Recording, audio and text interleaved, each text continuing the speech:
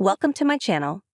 Busy Dakota Johnson, Chris Martin spend a lot of time apart, but they're happily together despite split rumors. Dakota Johnson was quick to shoot down rumors that she and Chris Martin had split. The reports are not true. They are happily together, an unnamed rep for the actress declared on August 16.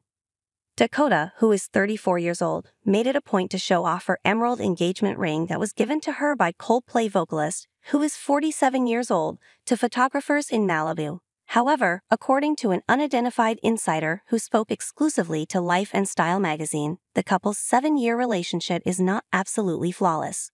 Chris and Dakota have had their ups and downs like any couple. They spend a lot of time apart due to their respective work schedules, and sometimes, Chris can be a little too switched off for Dakota's liking. The distance is tough on them, the undisclosed informant further told the entertainment news outlet. As a result of speculations that she had broken up with her fiance, Chris, Dakota was seen wearing her engagement ring the previous week. On Friday, August 16, the actress who is 34 years old and is known for her role in Cha Real Smooth was seen out and about in Malibu, California, with her friends Jeremy Allen White and Blake Lee.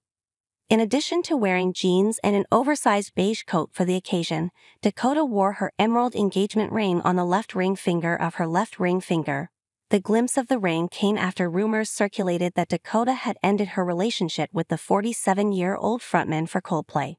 A representative for the Madame Web star confirmed to People magazine on the same day that the photographs were shot that the couple is happily together. The last time Chris and Dakota were seen together was in June when Johnson went to the Glastonbury Festival to show his support for the Fix You singer during Coldplay's headlining act.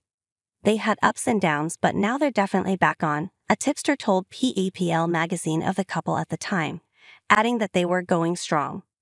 Chris and Dakota started dating for the first time in 2017, three years after the singer and his ex wife Gwyneth Paltrow divorced, or as they famously called it, consciously uncoupled.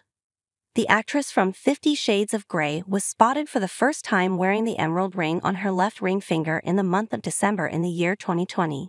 Nevertheless, it wasn't until March 2024 that her engagement to Martin was officially announced.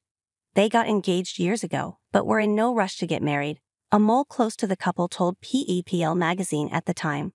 In spite of the fact that both Chris and Dakota have occupations that are visible to the public, they have chosen to keep their relationship as secret as possible. However, they have occasionally broached the subject of their relationship and have attended each other's events.